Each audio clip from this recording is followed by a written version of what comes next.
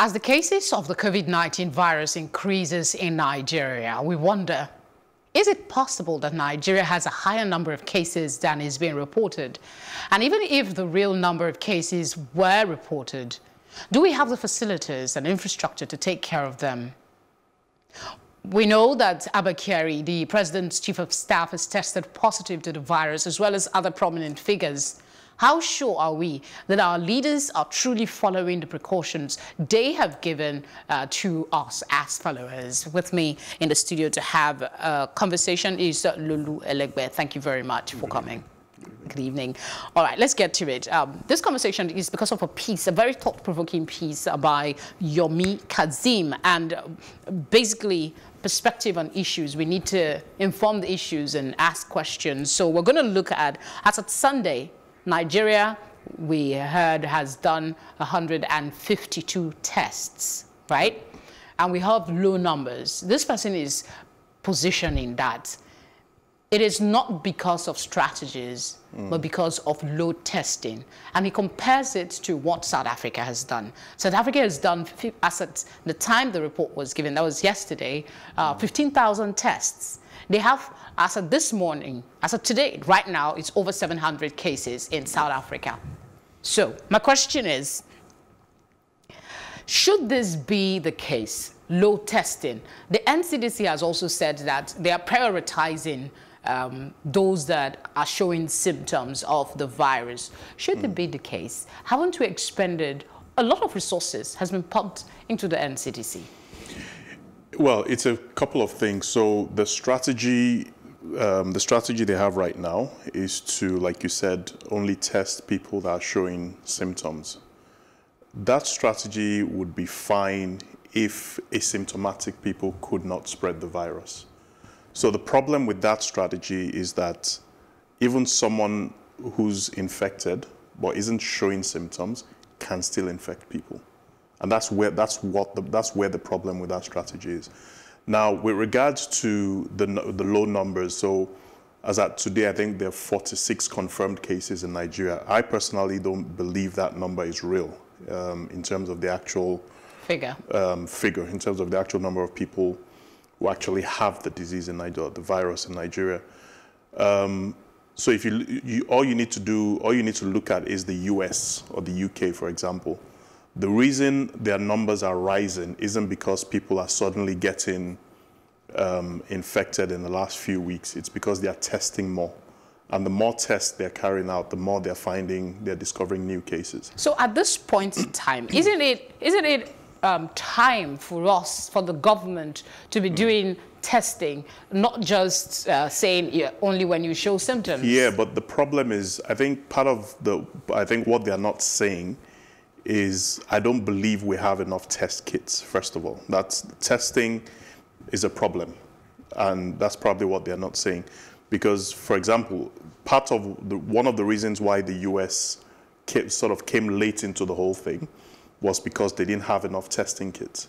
So they had to start, the government had to start contracting private companies to um, produce more kits. They had to order some from outside the country and those sorts of things. So by the time they did all that and started testing, as at, as at this evening, I think the US cases were now 60 something thousand. As at the weekend, it was just 20,000. So it's, it's, jumped from it's jumped by about 40,000 in the last three days. And it's not, like I said, it's not because people are suddenly infecting other people. It's just because they are ramping up the testing. Okay. That's, that's why they're discovering all these new numbers. So I suspect that in Nigeria, if we somehow started ramping up testing, those numbers would go up, I How will we do that? We have five testing centers as mm. of now. And before now, we were told they'll be building more. China built a whole hospital um, in less than two weeks. Um, and we are still talking about having five testing centers for mm. a population of over 200 million people. Uh, the question will be, considering the urgency, how soon do you envisage, with all the comments and all the positive talk that's coming from the government, we'll be able to have more testing centers in light of the emergency of the situation? Well, I, uh, the, the, the, the, short answer is I don't know. Um, and that's because I think so far, the Lagos state government deserves a lot of credit for how they've handled things. Lagos is just but, one state. Yeah, that, so that, that was my next point. The problem is Lagos is one state. Yes, it's the most populous state in Nigeria and the ports of entry and all that, but it's still one state. My worry really is that if things get hairier than they are right now, would Lagos State still be able to cope? I don't think so. And not because they're doing anything wrong, but because generally as a country, we just don't have the infrastructure to cope. And that's one of the reasons that I've been sort of pushing for this idea of, you know, let's lock things down for at least two weeks. Because let's be honest, we don't have, we don't have the capacity to deal with an outbreak in this country. We don't. So if we don't have the, the capacity to do that, the only thing we can do is prevent it from becoming an outbreak in the first place. How do we do that? By, pre by, pre by preventing the spread. We, we keep talking about social distancing, but I don't understand how we can. it right now. Well, that's me and you, but, but you, you and I are the minority. The, I think you can't talk about social distancing when you have um, public transport buses that are filled to capacity every day. I saw that on my way robbing, to work today. Exactly. So how so how do you know one person on any of those buses isn't affected? It, and these are the things that these are the reasons why I'm saying you know let's just lock things down for this period of time uh, so that we know exactly what we're dealing it with. It seems the more of, um, um, this is a deviation though, but mm. you mentioned it and it came to my mind. I saw a report this morning on Al Jazeera mm. actually. Um, about people actually saying that the disease does not exist as far as they are concerned. This is in the Federal Capital Territory. That a disease does not exist, and even if it exists, it's for the elite, it's not for the poor masses. So with that level of ignorance still existing, mm. What more can the government do at this point to get to those people? Because those are the people you're expressing fear about. Yeah, but it's not, so it's not just them. So the, the ignorance is on many is on many sides. So there's the ignorance of those sorts of people. There's the ignorance of I saw a video. Someone sent me a video I think earlier today with um, a pastor saying that coronavirus will not get you because oh, I have, saw that as well. Some of our religious leaders corrosive anointing or something like that. So there are people that swallow up those sorts of things. There are people that don't even believe the disease exists in the first place. So we, I think earlier this week I was talking to one of your colleagues about the National Orientation Agency, for example. They should be at the forefront of pushing this message out there. That look, this thing is real. This thing is not a joke. This thing. I have a friend. Um, I have a friend from secondary school. She lives in Canada who's been infected. So she's she's going through she's going through treatment at the moment. She can't see her family. She can't see her Isolation. children. They've tested. Thankfully, her daughter and husband have tested um, negative. negative. But so you can imagine someone telling me that this, uh, when I know personally someone who's been infected by this thing. The president's chief of staff, for example, has been infected. So this, um, we heard this afternoon that Prince Charles has been infected. So when people start to say, no, this thing doesn't exist, it's a disease for the elite. No, I mean, we have over 20,000 people dead globally. And this is both rich, poor, man, woman, old, young, no difference the death toll in Italy has already surpassed China. The death toll in Spain has already surpassed China. So for people to still be, so that I don't understand the the ignorance about this thing. There might not be, that, that's the thing I was trying to emphasize. Mm. They might not be aware of these figures. You seek out these figures mm. because you want to know. Mm. These people in the first instance do not believe. I mean, uh, there is the responsibility of government to save people from themselves. Yeah. And that's why we have emergency laws that can be enacted when we have situations like this. So yeah. what kind of emergency move, in your opinion, can the government take to reach these people? Because that is where some of the spread is going undetected. Yes, for me, it's, it's, so it's not just, I don't think it's just one thing that needs to be done. It's a number of things.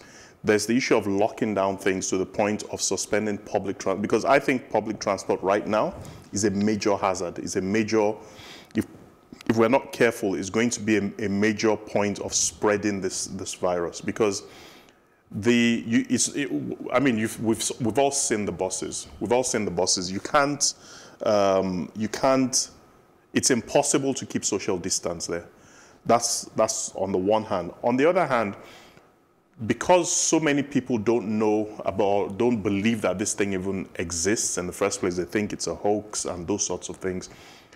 What I would have expected to see is whether it's billboards, whether it's adverts, whether it's campaigns to show that to to drive this message home. Look, this thing is real and it's here in this country. We need to deal with this thing. So everybody is aware that we have a problem, we have a potential problem if we don't deal with this thing. Okay, let's look at the issue of uh, quarantine. Um, mm. We, they say self-isolation it's, um, it's not made mandatory, but we mm. have uh, countries that have made it mandatory. In Africa, Kenya, yeah. Ghana, Uganda, they are making those that are coming in, even, at, even those that are there, once you have, um, you know, you are mandatorily um, isolated. Some have even invented the fact that you do it at your own expense. You isolate yourself at your own expense. Mm. Why are we still doing self-isolate Why the NCDC, you know, monitors your progress? That's a good question. And I think this idea of the NCDC monitoring progress, um, I know someone that came back from the UK just over a week ago. Um, she's self-isolating, but as far as she's, no, no one's contacted her, no one's asked her any questions or anything like that. So I don't know if the plan is to is for her to contact them if she feels any symptoms. I, I don't know. But again, I've had people who've, who've called those NCDC numbers and either they're not being picked up. So th there are all sorts of issues. We in Ghana and these countries you mentioned, for example, when people come from high-risk countries, that's countries that have more than a thousand cases, they are, like you said, they're compulsorily quarantined for 14 days. But here we're asking people to self-isolate. Um, so we're basically passing the responsibility of that to people to do that. That would be fine if everybody was responsible, but everybody is not. Not just Nigeria, but generally speaking, everybody isn't responsible. So I don't understand why you know that someone is coming from the US or the UK or China or Italy or one of these places. There, I mean, first of all, there's the issue of why we didn't restrict flights from those countries in the first place, which should have been a no-brainer. These people, I mean, the, the, the virus has taken hold of these countries. It only makes sense that people coming from those countries should face certain restrictions. I, why they didn't do that until much later I don't know because it seems like they're waiting for things to get bad before they do certain things. But my point is they should take those steps so that things don't get bad. Because my worry more than anything else is that if things get bad, we cannot cope with it. That's what worries do, do you see that else. changing? Um, let's say now that we have very high profile cases testing yep. positive for the virus, yep. do you think that will expedite action and maybe make us move more towards um, putting things in place that will help with this? I hope so. Um, I don't know if it will, but I hope so. The Lagos state government seems to be taking the lead in doing this. Um, they've, I think from tomorrow, markets and other places are going to be closed from tomorrow. But then you still have these cases of people, um, I think last Sunday, so even though mass gatherings of more than 20 people had been banned, people were still going to church, churches were still holding um, services. I hope we don't see that this Sunday again. Because all these things are we, we, we sometimes behave like we're immune from these things. The, the, um, one of the positive cases, for example, was at the recent AV, AVMCA Awards. Awards. And there was, there was a post yesterday, I think it was from the NCDC or the Lagos state government saying anyone who went for that award show should self-isolate, for example. Now, there is no way, it's, it's pretty much impossible to start contact tracing everybody, every single person that went for that, that went for that award. So this is why I said this number 46 that we have, I don't believe it's real. And the only way we know that, well, the only way we can know for sure is if we ramp up testing. I don't believe we're going to do that because I just don't think we have enough. Um, we had, I know we had a consignment of um, medical from equipment from Jack Ma that arrived, I think, yesterday. That should help, hopefully. But it doesn't look good. It doesn't okay. look good. What's your stance on uh, the shutdown, calls for shutdown? We know, for instance, that Malawi did not have any case before they shut down their borders and shut down everything. India, of over how many, their population is more than ours. There's oh, a yeah. complete shutdown. Why do you think there is hesitation But still? that's my point, though. So those countries, what those countries are doing is exactly the point I'm making. You don't wait until things get bad before you shut these things down. You don't wait until... So th this is why I can understand what we're doing here yes, I understand, I get that there are problems. Um, so, like yesterday on one of my WhatsApp groups, we're discussing this issue of if things do get shut down, what happens to, say, artisans who earn um, on, a daily, on a daily basis on maybe construction sites or those, what happens there? Those are the kinds of discussions I would expect them to be having at that level, saying, okay, if we shut this down, what do we do with these people? And then you have a conversation about how that is going to work, how you're going to make that work.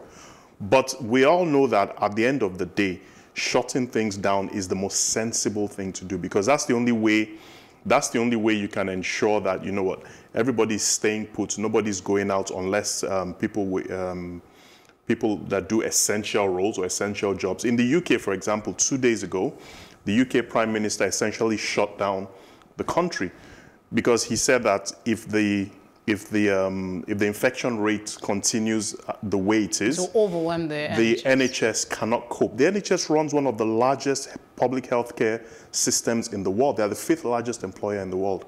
And if they're saying they cannot cope if this thing spread continues to spread, then I worry for Nigeria because obviously our healthcare system is nowhere near what the NHS is.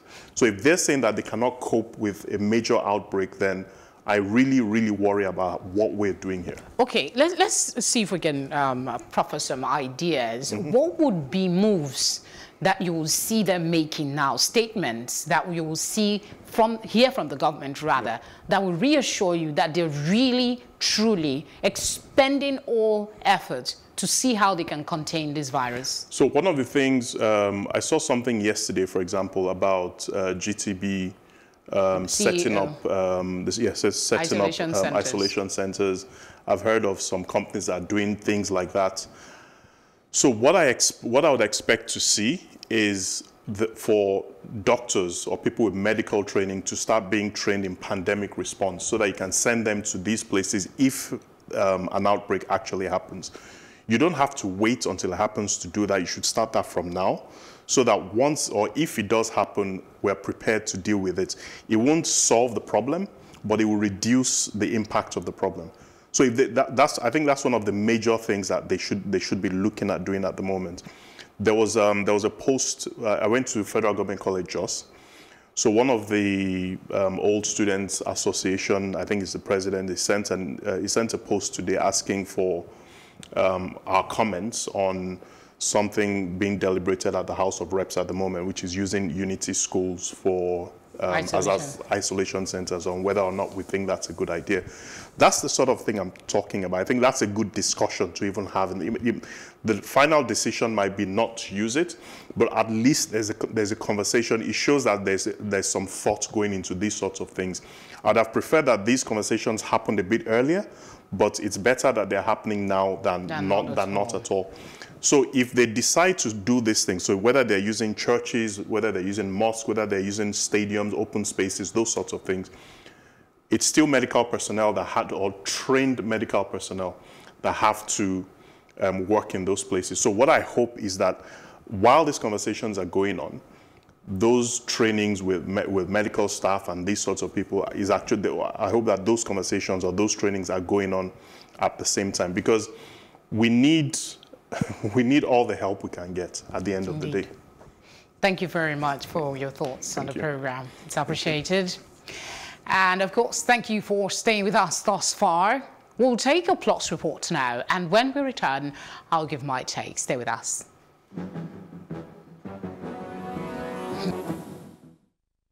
The Christian Association of Nigeria in Adamawa State has banned Sunday services and masses among its members as part of its effort to contain the coronavirus pandemic. The chairman of CAN in the state, Bishop Stephen Mamza, said other social activities which attract more than 50 persons remains banned. Encourage smaller units or congregational assemblies of 50 people only. We recommend the suspension of Sunday services and masses until further notice.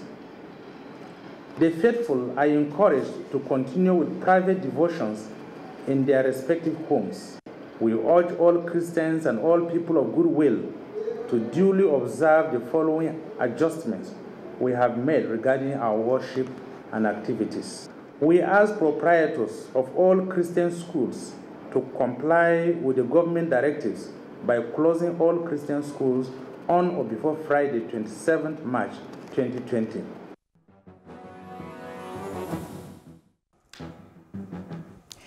As we collectively continue to struggle to find ways to forge ahead in our quest to defeat the coronavirus pandemic, may I reiterate that it is imperative that we endeavor to seek information from the right sources. Take safety measures within your power and do not panic. Do not panic. This too shall pass. Thanks for watching. Remember, you can catch up on previous episodes on our YouTube channel at Plus TV Africa.